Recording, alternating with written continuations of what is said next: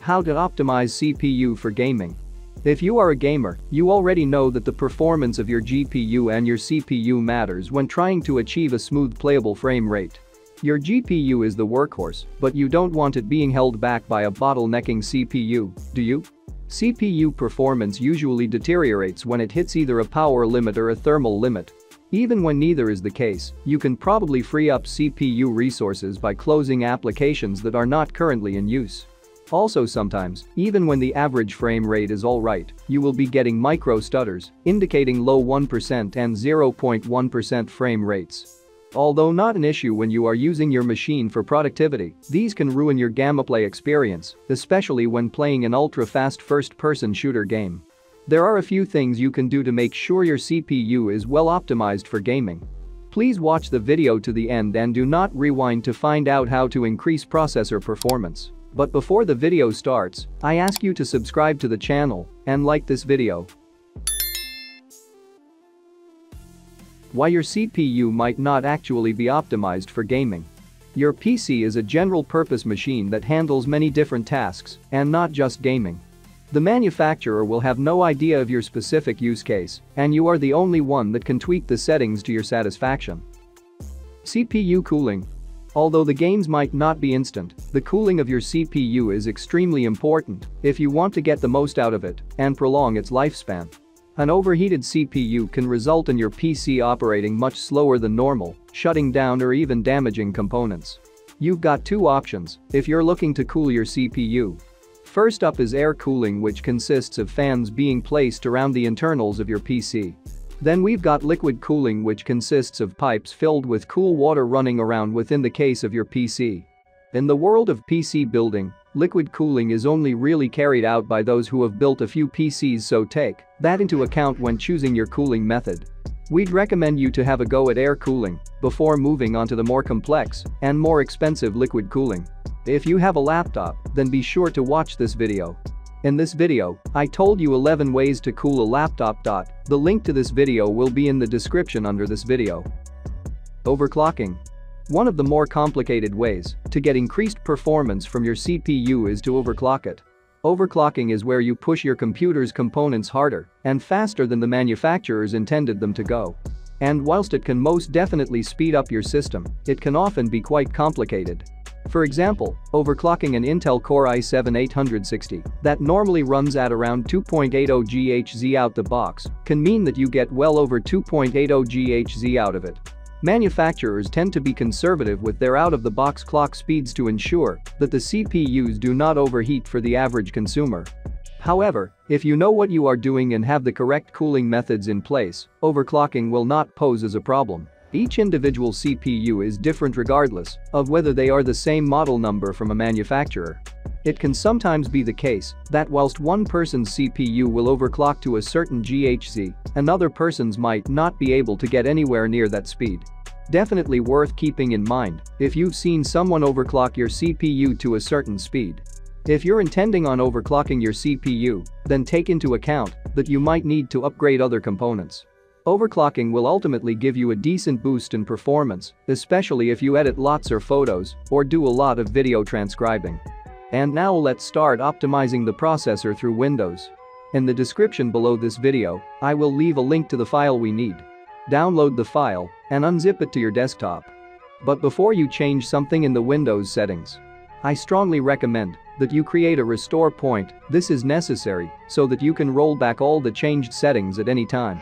But these settings are absolutely safe Everyone has their own device, for someone these settings will give a very good increase in performance and speed, and for someone on the contrary. So I recommend just creating a restore point. If everything works correctly in the end, then you can simply delete the restore point.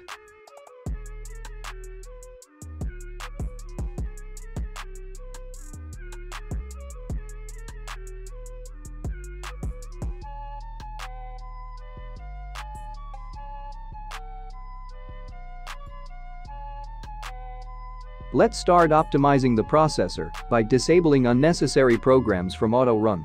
To do this, we will use the AutoRuns program. AutoRuns is a program for monitoring the automatic loading of various applications, services and components that start when Windows boots. I recommend disabling all unnecessary programs that you will not use when starting Windows. Leave only the most necessary and important ones. But do not disable those programs and services that you do not know.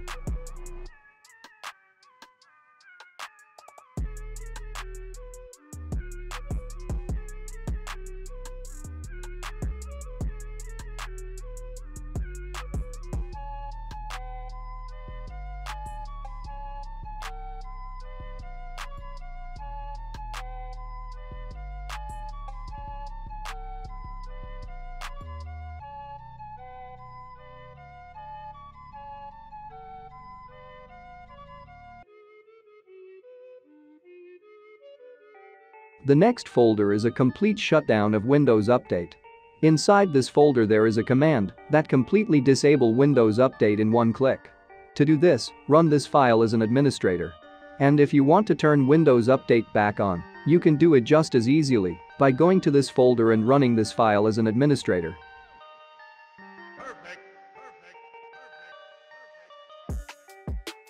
Then we optimize the power plan. In this folder I left a ready-made power plan scheme that is configured for maximum performance in games. To apply it, you need to first run this regedit file and give permission to make a change to the system. After that, you can import this power scheme.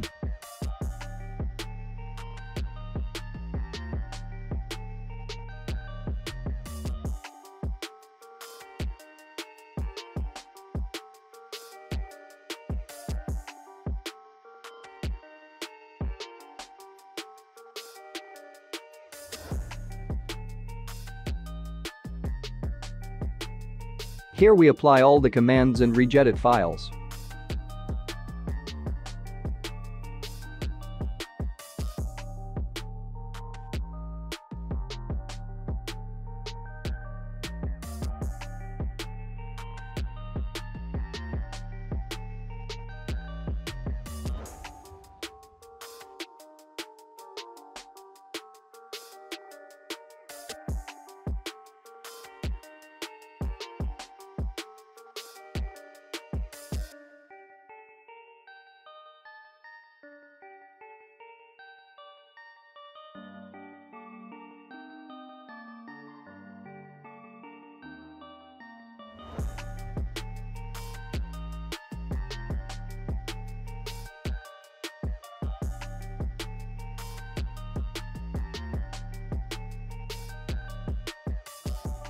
Cleaning old thermal paste and reapplying. A thermal paste is very critical for CPU functioning because it transports heat between the integrated heat spreader in the CPU and your CPU cooler. Think of it as a bridge that allows your vehicle to cross from one side to the other. Only, in this case, the heat is the vehicle, and without a properly functioning thermal paste, it will be stuck on the CPU side of the equation in some cases, if the CPU is more than 4 or 5 years old, you might be hitting thermal throttling because your CPU's thermal paste has dried out. In such cases, you will need to clean thermal paste off CPU and reapply. Well, that's all for me, I hope I helped you. If yes, then I ask you to subscribe to the channel and like this video. This inspires me to create new videos for you. See you soon, friends.